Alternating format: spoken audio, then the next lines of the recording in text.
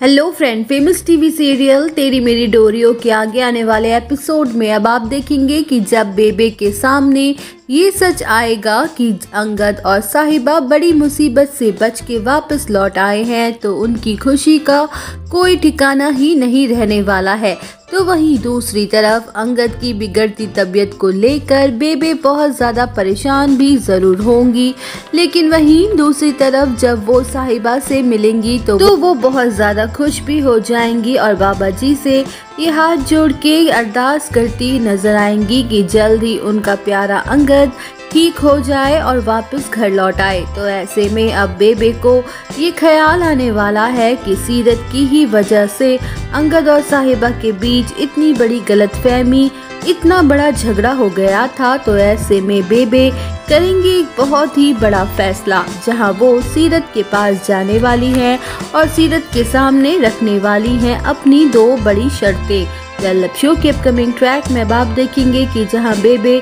सीरत को धमकाते हुए ये कहती हुई नज़र आने वाली है कि सीरत, अगर तुम्हें अब बरार मेंशन में रहना है, हम सब के साथ तो तुम्हें अंगद और साहिबा की ज़िंदगी और उनके रिश्ते से दूर रहना होगा। और अगर तुम्हें इस घर में रहना है तो तुम्हें इस बात का भी ख्याल रखना होगा